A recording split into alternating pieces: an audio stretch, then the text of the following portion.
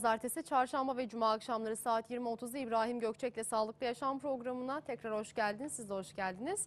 Kalça ve diz ağrılarından bahsedelim. Böyle başlayalım. Evet, kalça ve diz ağrıları. Baldır kemiğinin e, baş kısmına femur denir. Femur yani baldırla leğen kemiğinin birleştiği nokta. Burada çok yoğun ve büyük bir e, kıkırdak var.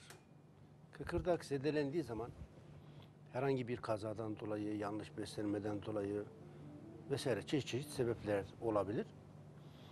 Buradaki kireçlenme zamanla e, leğen kemiği ile femur arasındaki sinovial sıvının da burada sinovial sıvı, eklem sıvısı çok ince bir zar içerisinde e, jel gibi bir sıvı. Bu sıvı da kaybolursa kemik direkt e, femur başı leğen kemiğini ezmeye başlar. İltihaplanırsa kalça iltihaplanmasına koh artroz denir. İltihaplanırsa ne olur? Leğen kemiği kalça kemiği birbirine kaynar. Çok ağrı, çok acı verir. En büyük ağrılar, acılar. Kemik kaynadığı zaman zaten kişi kalçasını oynatamaz veya leğen kemiğiyle bütün olarak oynatır. Hareket kabiliyetini kaybeder. Bu nedenle kalça ağrısı başlar başlamaz hemen tedavi olmak gerekir. Aynı şekilde diz eklemi de e, diz eklemleri arasında kaval kemiği ile baldır kemiği arasında e, diz eklemi ve diz kapağı.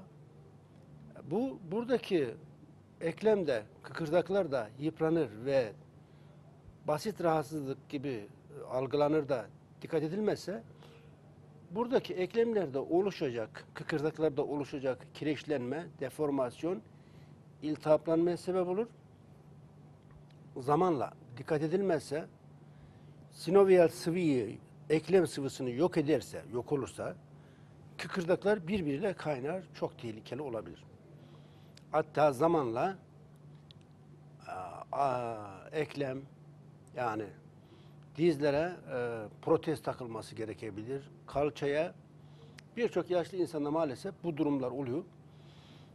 E, yanlış beslenme, hareket etmeme, spor yapmama vesaire birçok faktör rol oynuyor. Alkol kullanma, sigara kullanma vesaire. Bu tür rahatsızları Cox artroz, kalça e, romatizmasına, e, diz romatizmasına ise diz ağrıları nedeniyle ortaya çıkan rahatsızlığı ise gonartroz denir. Gonartroz, Cox artroz. Bir de bel ağrısı ve tabii ki kolumuzda kolumuzla e, ince kemiği burayı birbirine bağlayan da burada da bir ne var? Kıkırdak var. Kol çıkması olursa kişinin yani kol yerinden yuvadan çıkarsa yıpranırsa bu da zamanla kireçlenmeye vesaire sebep olur. Birçok problem ortaya çıkabilir. Bu tür problemlerde ne yapılabilir? Bu gördüğünüz bitki herkesin bildiği söğüt ağacı. Bu söğütün kabuğunda çok özel bir madde var. Salisin.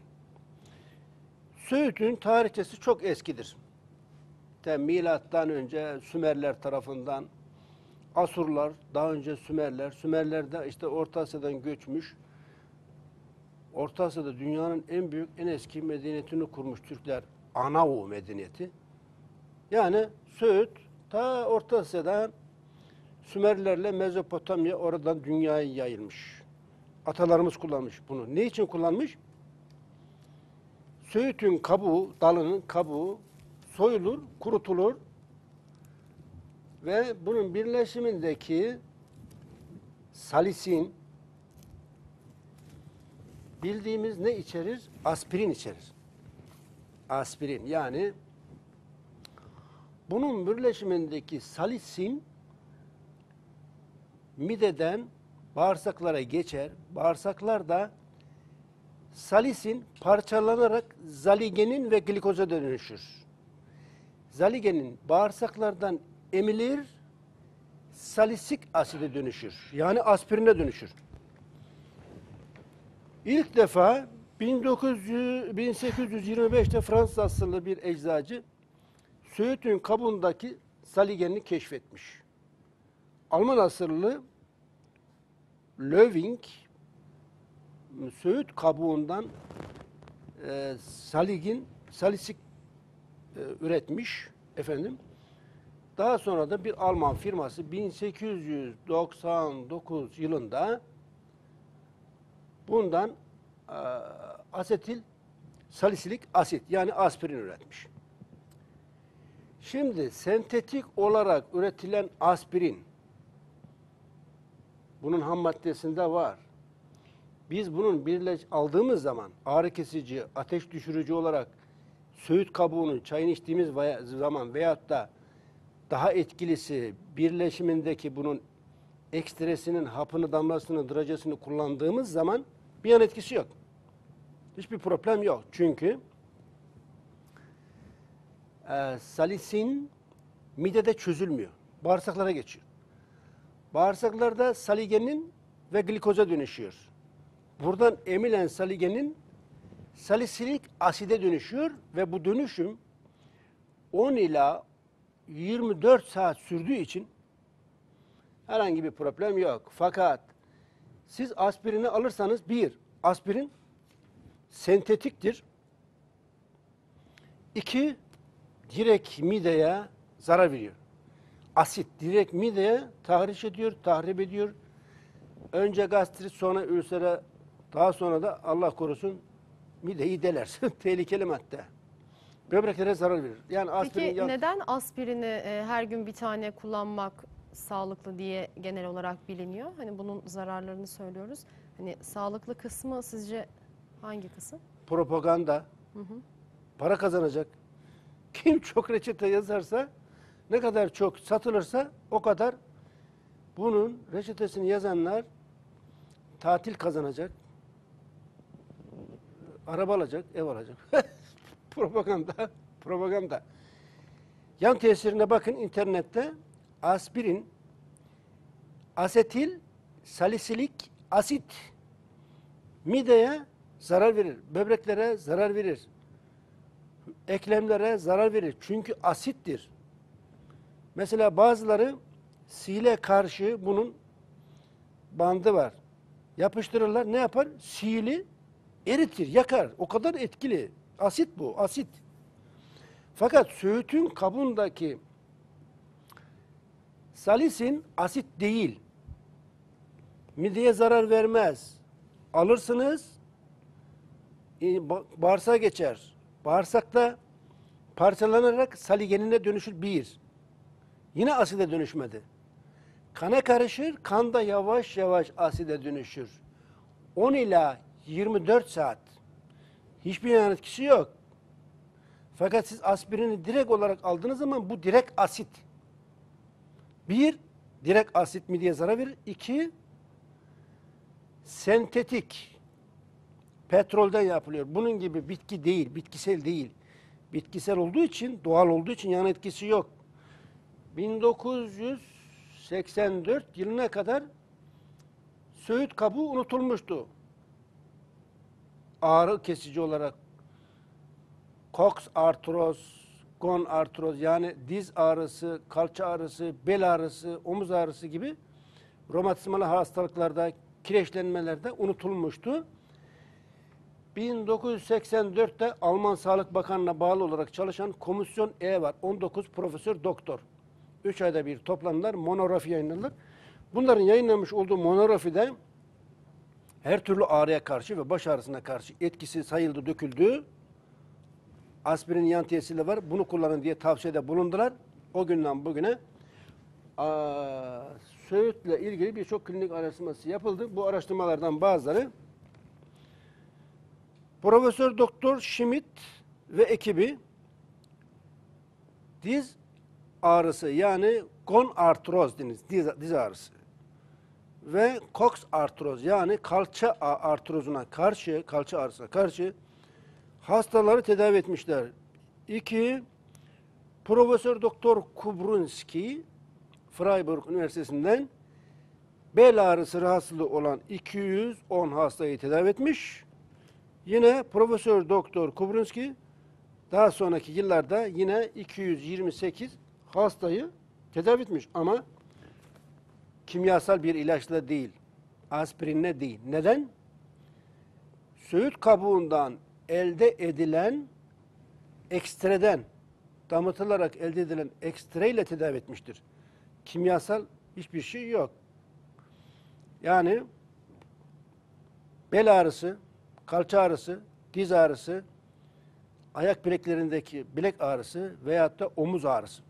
Bir hanımefendi ben aradı artık diyor Antalya'da Sibel Hanım 55 yaşında bu e, omuzları arası kireçlenmiş. Kadıncağız öyle hareket edemiyor. Şöyle robot gibi. Şuraları oynatamıyor. Böyle. Böyle tutulmuş. Yani buralar gitmiş kireçletmiş. Ya ben ara dedi ki ya ne olacak? E, artık oynatamıyor. E, kollarını robot gibi. Hiç problem yok. İksir aloe vera jel ve çok özel bir. Buna karşı biz harpago birleşiminde söğüt kabuğu ekstraksi, şeytan pençesi kökü ekstraktı, ısırgan ekstra vesaire var. Kullanacaksınız, bakacağız, göreceğiz dedik. 6 hafta sonra ha, kollarını oynatmaya başladı. Normal kollarını oynatamıyordu kireçlenme nedeniyle. Ee, kollarını oynattı, rahatladı ya. Ha, normal çalışmaya başlamış. Ha, bu sefer kolu çıkmış. Beni arıyor diyor ki kolum çıktı. E normale dönmedin ki. Yani yeni yeni açıldın, iyileştin. Hemen birdenbire zorlamayacaksın. Çünkü oradaki kireç yok olduğu zaman ne olur? Hafif bir açıklık var. Bu zamanla düzelecek. Acele etmeyeceksin. Mesela iyileşir iyileşmez zorlamayacaksın. Bizim e, bir doktor arkadaşımız var Süleyman Bey. Annesi 72 yaşında. Kadıncağızın hem kalçasında kemik incelmiş hem dizi. Doktoru demiş ki hem dize protez takacağız hem kalçaya çünkü kemikteki kalsiyum çok çok azalmış. Basit bir zorlamada kalça da gider, diz de gider. Hem kalçadan hem dizden ameliyat olması, protez takılması gerekiyor. Fakat hanımefendi de tansiyon var, kolesterol var, romatizma, bir sürü hastalık var. Demiş ki doktoru bu haliyle hastaneye yatsa ameliyat masasından kalkamaz. Çok ağır. Ne olacak? Bek biraz iyileşsin de bakalım nasıl iyileşecek? Dedik ya ne yapalım? Problem değil. Her şeyin çözümü var. Biz ona iksir, aloe vera jel, harpago forte, 40 kilit forte verdik, kullandı. 6 hafta sonra kemik ölçümü yaptırdılar kalça kemiğindeki kalsiyum oranı yüzde 68 yükseldiği için ne oldu? Ameliyata gerek kalmadı. Zonguldak'tan bir hanımefendi Zehra Hanım o 62 yaşında. Şimdi kızı var burada. Uzun bu çok oluyor uzun süre. Ee, bütün Zonguldak'ta, Ankara'da, İstanbul'da doktorlar ameliyat demişler. Namaz kılamıyor, secdeye eğilemiyor. Oturduğu yerde yani normal namaz kılamıyor. Oturduğu yerde ağrıdan, sızıdan bir şey yapamıyor. Hareket edemiyor. Dizleri ve kalçası gitmiş. Ben dedim ki çok ağır vaka bir şey yapamayız. Bir deneyelim. Bakalım ne olacak bilmiyorum yani. Bir şey diyemem. Peki dediler. Kızı buradan aldı aldı gönderdi aldı aldı gönderdi. 6 ay sonra elinde bir kadın elinde bir tane bastonla kapıyı vurdu. Gökçek sen misin? Benim buyurdum. Kadın da cadıncağız bana bir şey söyleyecek zannettim. Yani bir şey kabahat mi işledik yani? Buyurun dedim. Dedi ki ya ben dedi kızmak için gelmedim. Ne için geldin? Teşekkür etmeye geldim. Ya dövecekmiş gibi geliyorsun. Yok dedi. İçeri geldi oturdu dedi ki ben dedi evden çıkmayı bırak namaz bile kılamıyordum. Allah'a şükürler olsun artık geziyorum. Elimde baston geziyorum. Evde namaz kılamayan kadın, sokağa çıkamayan kadın artık elinde bastonla geziyor. Benim yanıma da ekstra gelmiş teşekkür etmek için. Allah sizden razı olsun size dua etmek için geldim dedi. Böyle çok ağır vakalar ne yaptık? İyileştirdik. Nasıl iyileştirdik? İşte Alman iyileştirir de Türk iyileştiremez mi dedik.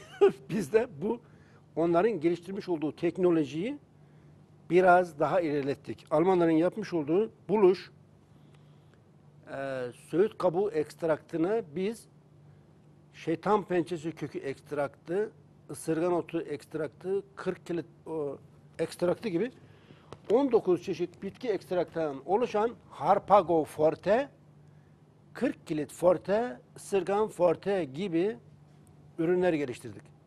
Rahatsızlığa göre değişir bunların kullanımı.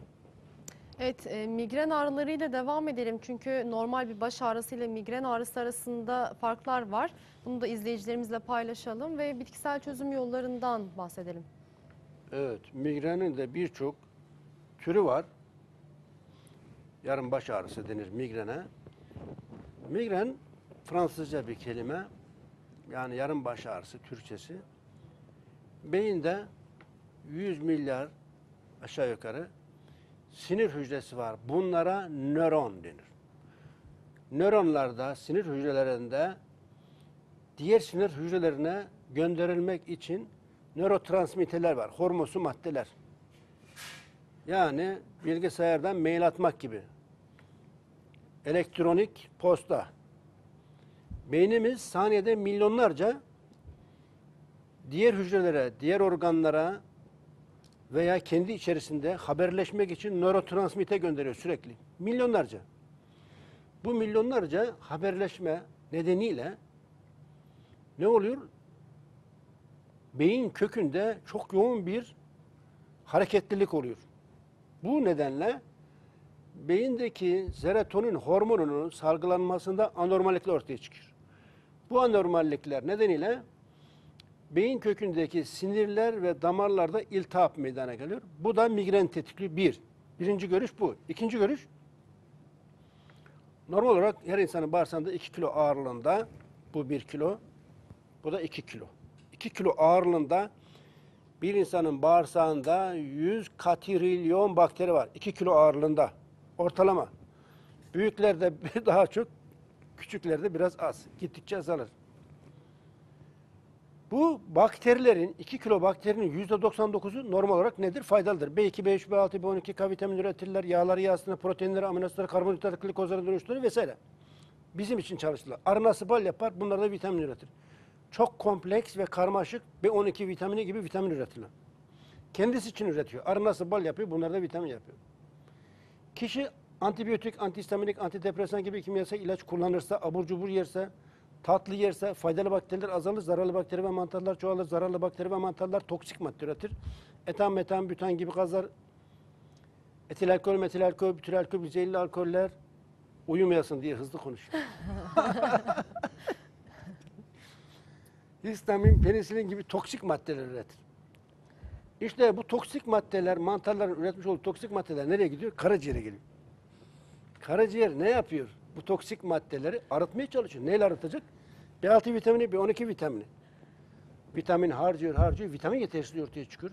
Vitamin, B6 vitamini, B12 vitamini, folik asit yani B9 vitamini sinirleri, sinir sinir vitamini derler bunlar. Beyindeki sinirleri besler. Bu vitaminler azalırsa ne olur? Ha, Baş ağrısı başlar tabii ki. Yani baş ağrısının iki sebebi var. Bir, Evet.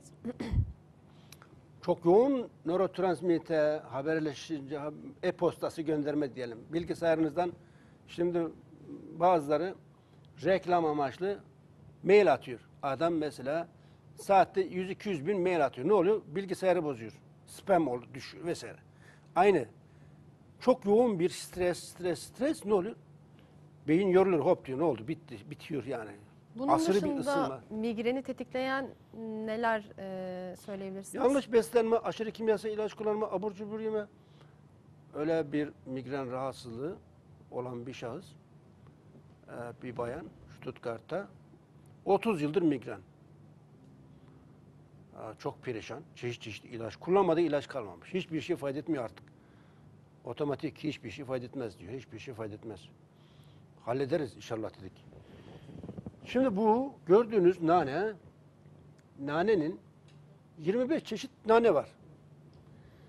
Ee, kıvırcık nane ve su nanesini İngiliz asıllı bir ilim adamı birleştirerek bir hibrit tür üretmiş.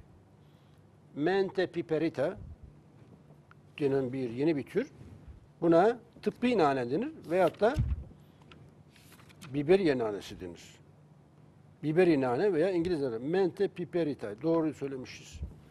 Mente piperita'nın yani bu tıbbi nanenin diğer nanelerden farkı ne? Bu nanenin birleşiminde yüksek oranda mentol var. Baş ağrısına karşı çok çok etkili ve dünyada en kaliteli nane nerede yetişir? İzmir'de yetişir. İzmir'de yetişen nanenin birleşiminde yüzde 3.8 yani yüzde 4'e yakın oranında eterik yağ var.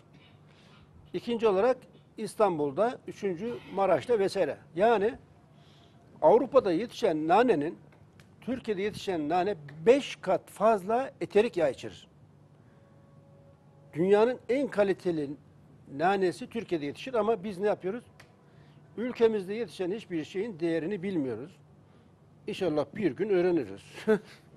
Şimdi nane ile ilgili Profesör Doktor Göbel Kiel Üniversitesi Nevralji Kliniğinde klinik araştırması yapmış. Ve migren hastalarını tedavi etmiştir. Profesör Doktor Göbel. Ha, özel bir eterik yağ geliştirmiş. Ben de geliştirdim böyle bir özel bir esans geliştirdim. Melisa ruhu adı. Nane yağı, okaliptüs yağı, oğlotu ekstresi ve lavanta yağı içerir.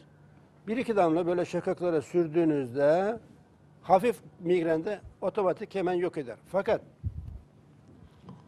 migren ağır bir rahatsızlıksa, serotonin hormonu dedim ya dengesizliğinden kaynaklanıyorsa o zaman sarı kantaron forte kullanmak gerekir. Beyne kan akışında bir anormallik varsa, oksijen yetersizliği varsa ginkgo kullanmak gerekir. Düşük tansiyon nedeniyle oksijen akışı azalmışsa biberiye gerekir. Yani migrenin sebebini bilebilirsek tedavisi mümkündür. Evet. Onu bilmeden yani kişiyle konuşmadan ezbere şunu al kullan demek yanlış olur. Evet. Spastik kolon nedir hocam? Bundan da biraz bahsedelim. Evet, spastik kolon. Bu da aynı migrende olduğu gibi iki sebebi var. Nedir? Birinci sebebi serotonin salgılanmasındaki anormallik nedeniyle bağırsaklarla beyin arasındaki haberleşme anormalliği ortaya çıkar. Beyinden gelen posta, e-posta bağırsaklara ulaşmaz.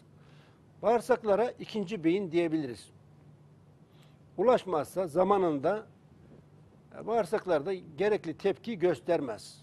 Bu Orada bir anlaşmazlık söz konusu olabilir. Ama asıl sebep şudur. Ee, günümüzde insanlar çok yoğun ilaç kullanıyor, kimyasal ilaç kullanıyor. Bir, yediğimiz her şeyde kimyasal madde var. Cips, jelibon, kek, gofret, hazır çorbalarda MSG, mono, monosodyum glutamat, Çin tuzu var. Bunlar insanı zehirliyor. Monosodyum glutamat beyindeki nöronları öldürüyor. Yani sinir hücreleri sürekli hazır çorba, Çin tuzu neden denir monosodyum glutamaya, M- MSG kısacası? Çinliler çöpe atılacak yemeğe biraz Çin tuzu katarlar. Çinliler çok kullandığı için adı Çin tuzu. Aslında Çin, Çinlilerle ilgisi yok. Ama Çinliler çok kullanıyor. Çin mutfağını, Çin lokantasına gitmek tehlikelidir. Çünkü bir haftalık bayatlamış yemeğe, kurt düşmüş yemeğe önünüze getirebilir. Ona biraz böyle Çin tuzu serperler. Çöpe atılacak yemek çok lezzetli gelir kişi. Oh maşallah der. Çok leziz yer. Çünkü monosodyum glutamat beyindeki nöronları uyarır. Ama bu kimyasal bir madde olduğu için beynin salgılamış olduğu monosodyum glutamat da farklıdır. Sentetik olduğu için beyine zarar verir. Sinir hücrelerini öldürür. Eğer ki kişi düzenli ve sürekli monosodyum glutamat kullanırsa ne olur? Alzheimer, Parkinson, Huntington, depresyon gider yavaş yavaş. Ee, işte bu nedenle günümüzde insanlar ne yapıyor? Bir de kimyasal ilaç kullana kullana bağırsaklar tahriş oluyor, tahrip oluyor sürekli. Yanıyor, kavruluyor, hassaslaşıyor. Şimdi bağırsaklarda 2 milyar virüs denen kanal var. parmak gibi düşünelim. Bunun üzeri kalecinin arkasındaki file gibi filtreler var. Besinlerdeki vitamin, mineral, enzim, enem, emen. Bu filtreler kalecinin arkasındaki file gibi düşünelim. Buradan vitamin, mineral, enzim yavaş yavaş kana karışır. Karaciğer, karaciğerde yavaş yavaş bunu dağıtır. İşte bu virüs denen kanalın içerisinde atar damar, toplar damar ve sinir var. Kimyasal ilaçlar nedeniyle sinirler hassasiyetini kaybediyor, yanıyor, kavruluyor ve gerekli zamanda tepki veremiyor. Ne oluyor kişide bu sefer? Peristalik bağırsak hareketleri bozuluyor. Kişi karnı davul gibi şişiyor. Gaz, gaz oluyor. Ne alttan çıkarabiliyor gazı ne üstten çıkıyor. Şişiyor kalıyor. Yürüse de fayda etmiyor. Davul gibi oluyor. Karın ağrısı çekmeye başlıyor. Bazen ishal oluyor, bazen kabız oluyor. Bazen bir kabız oluyor, bir ishal oluyor. Veyahut da tuvalete gidiyor defacetini yapsa bile hala kendini bir daha lavaboya gitmek ihtiyacı hissediyor. Boşalmamış hissediyor. Böyle bağırsak bağırsak problemiyle yaşıyor, yaşıyor. Hayatı işkence oluyor. Buna karşı ne yapmak gerekir? İşte burada yine nane. Nane hem migrende hem de spastik kolonda. Şimdi bununla ilgili başka ilim adamları, yani önceki Profesör Doktor Göbül migrene karşı naneyi kullanmış. Naneyi yanımıza koyalım da. Naneyi kullanmış.